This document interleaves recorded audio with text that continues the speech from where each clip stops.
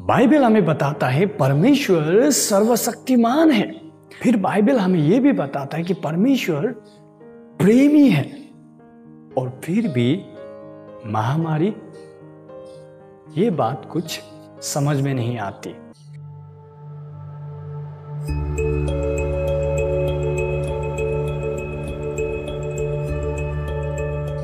जय मसीह, मैं आरसी राय आपको इस वीडियो में स्वागत करता हूँ। आज मैं आंसर करने की कोशिश करूँगा जो सबसे बड़ा सवाल बाइबल क्रिश्चियनिटी के ऊपर में लोग उठाते हैं, वो ये है, देखो, आपका वचन कहता है, परमेश्वर सर्वशक्तिमान है। फिर बाइबल बताते God is all loving he is almighty he is all loving Bible claims फिर भी ईवल्स इस पृथ्वी में है। ईवल्स इन से मतलब कि पीड़ा है, बुराई है। तो ये बात कुछ समझ में नहीं आता। क्यों समझ में नहीं आता? क्योंकि परमेश्वर अगर प्रेम करते हैं तो वो ये सारी चीज़ों को होने नहीं देना चाहिए। ये जितना भी पीड़ा है, तकलीफ़ है, ये सबको हटा देना चाहिए, क्योंकि वो प्यार करता है तो इसीलिए वो अच्छा को कर देना है। और दूसरा, उसके पास में सामर्थ्य है तो करना है। तो ऐसा नहीं करते तो इसीलिए लोग समझ नहीं पाते। आइए हम इस सवाल को हम और थोड़ा क्लियर करना चाहता हूँ। ये कोरोना के माध्यम से। देखिए, जब ईवल्स का बात करता है तो दो प्रकार के ईवल्स आते हैं यहाँ में। First moral evils second natural evils moral evils से मतलब है कि जो रेप हो गया, चाहे वो मर्डर हो गया, या लूटपाट, या हत्या, जो भी बुरा इंसान करता है तो उसको मॉरल ईवल्स के कहा जाता है फिलोसॉफिकली और दूसरा नेचुरल ईवल्स जो आर्टक्विक फ्लड इस प्रकार की पैंडमिक्स कोरोना वायरस ये सारे नेचुरल ईवल्स हैं। तो मॉरल ईवल्स हो या नेचुरल ईवल्स जब भी इस प्रकार के ईवल्स आते हैं तो लोग सवाल करते हैं, परमेश्वर, ऐसा क्यों? अगर आप सर्वशक्तिमान हैं तो ये सबको हटाते क्यों नहीं? अगर आप प्यार करते हैं तो ये सबको रोकते क्यों नहीं? ये सवाल लोग करते हैं। और ये जब पर्सनल लेवल पे जब आता है ये सवाल तो और भी खतरनाक हो जाता है। बहुत सारे लोग बैकस्लाइड हो जाते हैं। जब कैंसर जैसे बीमारी का शिकार हो जाते हैं, जब कोरोना वायरस से ग्रसित हो जाते हैं तो बिलीवर्स भी बहुत सारे लोगों का विश्वास हिल जाता है। इस सवाल का जवाब देने से पहले मैं कुछ यहाँ में पॉइंट्स रखना चाहता हूँ जो हमें समझने का बहुत ही ज़रूरी है। नंबर वन कि देखिए, जब भी आप सवाल करते हैं, ऐसा क्यों परमेश्वर, ऐसा बुराई क्यों, ऐसे पीरा क्यों? तो इसमें आप एक चीज़ को मान के चलते हैं कि देर इज़ ए गॉड आप ये बिलीफ सिस्टम का अंदर में आपका अगर नहीं है, कि आप नहीं मानते परमेश्वर नहीं है तो आपका सवाल ही मीनिंगलेस हो जाता है। कैसे मीनिंगलेस हो जाता है? मैं आपको बताता हूँ कि देखिए, आप किसी चीज़ को बुरा कहते हैं तो इसका मतलब है कुछ अच्छा भी है। और ये बेसिस कहाँ पे निकलता है? ये बुरा है, ये अच्छा है कि there is a reference point यानी कि परमेश्वर है जो कहता है ये अच्छा है और ये बुरा है। तो एक मॉरल लॉ गिवर है, यानी कि अच्छा और बुरा को बताने वाला है। नहीं तो क्या है कि किसी के लिए रेप अच्छा है, किसी के लिए मर्डर अच्छा है तो सभी का अच्छाई अलग अलग होता है। तो इसीलिए there is a moral law giver तो इसीलिए आप उसके बेसिस पर ही आप कह रहे हैं। अगर उसी को आप डिनाई करने जाएँगे तो क्या अच्छा बुरा? कुछ नहीं है। सब कुछ चलता है। आप जानवर की तरह ही है। But there is a God therefore our question becomes very meaningful तो इसीलिए परमेश्वर है तो अब फिर सफरिंग है। तो इसको कैसे साथ में मिलाए? प्यार और पीड़ा को कैसे साथ में आ, हम समझ समझे? कैसे इस चीज़ को हम समझ के एक साथ ले जाएँ? तो इसका जवाब मैं देना चाहता हूँ। सबसे पहले आपको समझना है कि परमेश्वर हमारे सवालों का जवाब नहीं देते। कैसे देखिए book of Roman chapter 14 verse 12 में कहता है गॉड जो है, हमारा सवालों का जवाब नहीं देता, उल्टा हमें जवाब देना है। क्यों? क्योंकि ultimately God is the one who gives the life परमेश्वर ने ही जीवन दिया है, इसीलिए उसका हंड्रेड परसेंट राइट होता है कि जीवन को लेने का भी। तो हम सवाल नहीं कर सकते। जीवन देता भी है, लेता भी है। तो हमारा कोई राइट नहीं होता है कि हम सवाल करें। लेकिन वो सवाल कर सकता है। हम पर सवाल कर सकता है, तूने क्यों लिया? क्योंकि तू जीवन भी नहीं दे सकता, तू ले भी नहीं सकता। तो लेकिन परमेश्वर, वो अपने सवर्निटी में, वो कुछ भी चीज़ परमिट करता है तो हम उसको सवाल नहीं कर सकते। वचन बताता है इवन आप देखोगे जॉब के लाइफ में जॉब का अपना परिवार उससे बिछड़ गया। नेचुरल डिजास्टर से उसका प्रॉपर्टी खत्म हो गया, उसका फैमिली खत्म हो गया, अपना शरीर घाव सिर से लेकर पाव तक पूरा घाव घाव ऐसे में वो निराश, हताश होकर परमेश्वर से जाके सवाल करता है, परमेश्वर, ऐसा क्यों? तो आप देखोगे आयरोनिकली कि परमेश्वर जवाब नहीं देते। उल्टा परमेश्वर जॉब का ज्ञान को सवाल करता है, उसका सामर्थ्य को सवाल करता है। आखिर में जाके क्या होता है? जॉब रिपेंट होता है।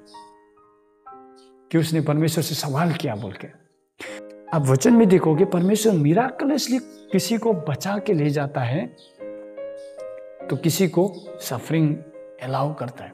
तो we can not understand why God does certain things is beyond our understanding इसीलिए वचन कहता है secret things belongs to God तो सभी चीज़ें हम परमेश्वर के बारे में समझ नहीं सकते हम उनके सृष्टि हैं।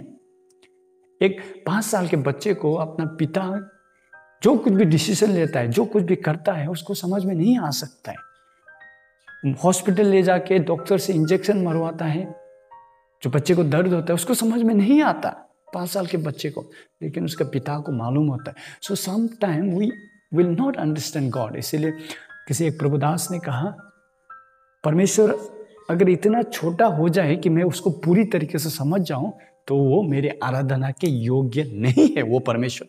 तो कुछ चीज़ें परमेश्वर के बारे में हमें समझ में नहीं आएगा तो इसीलिए हम सवाल नहीं कर सकते। Not question God number two यहाँ में आप देखोगे कि ये इस पृथ्वी में जो natural evils as a result of original sin हम लोग को वचन में दिखाई देता है। अब जब वचन पढ़ते हो, आदम और ईप ने जब पाप किया और उसका कर्ज पूरा पृथ्वी में आया, यानी कि पूरा सृष्टि में आया a result death sickness all kind of sufferings came in to this world as a result of sinning इंसान का डिसओबीडियंस के कारण इस पृथ्वी में कर्ज आया। क्योंकि कर्ज आने के कारण जो जो ओरिजिनल जो पोजीशन था, उससे नीचे चला गया। उसका स्टैंडर्ड नीचे चला गया। इसलिए फॉल इन वर्ल्ड कहता है कर्स्ड वर्ल्ड वचन हमें फिर से बताता Roman chapter eight twenty two twenty two में देखने से हमें क्या पता चलता है कि क्रिएशन भी परमेश्वर की ओर दर्द के साथ में गुहार लगा रहा है कि जो शरण से होकर वो जा रहा है, जो सब्जेक्ट हो गया डिके के ऊपर में, वो रिडेम्पशन के लिए दर्द के साथ में परमेश्वर की ओर देख रहा है, वचन कहता है। तो इसीलिए as a result of living in this fallen world pains and sufferings are unavoidable ये होगा। तीसरा बात यहाँ में, मैं कहना चाहता हूँ कि God is not only almighty not only all loving but he is all knowing यानी कि वो सारी बातें शुरुआत से ही सब चीज़ों को पता होता है। तो इसीलिए हमें कहानी का बीच का जो हिस्सा निकाल के हम पूरा कहानी को हम समझ नहीं सकते। Until and unless we see the big picture something will be always confusing तो गॉड इज़ ऑल नोइंग जो सब जानता है। हम सीमित हैं तो हम पूरी बातें नहीं जानते। तो हम सवाल नहीं कर सकते परमेश्वर because he is all knowing तो उसका प्लान उसका पर्पस को हम पूरी तरह से समझ नहीं सकते। वो पूरा सृष्टि को रचने वाला, पूरा ब्रह्मांड को कंट्रोल करने वाला, वो सर्वज्ञानी परमेश्वर है। तो अब ये कोरोना को हम कैसे डाइजेस्ट करें?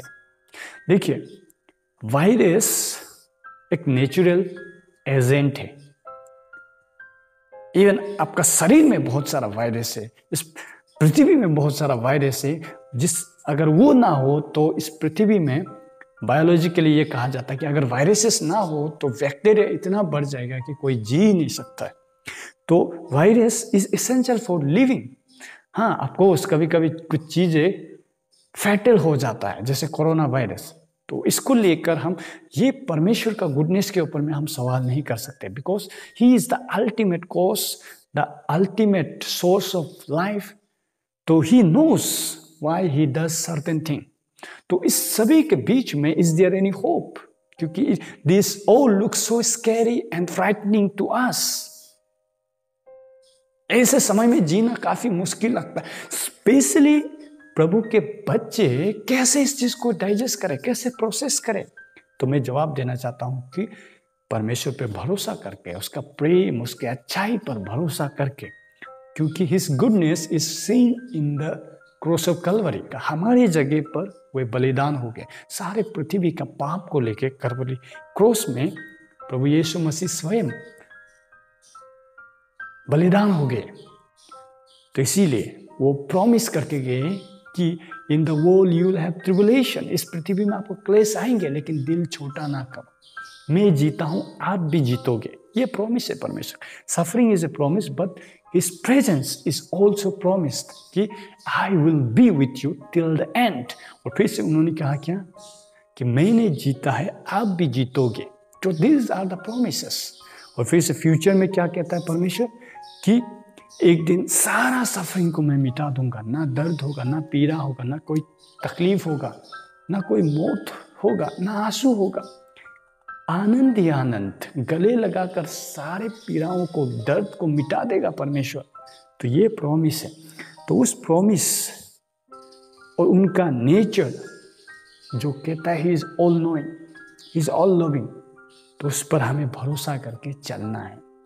याद रखें, परमेश्वर वफादार है। और वो आपके साथ में है।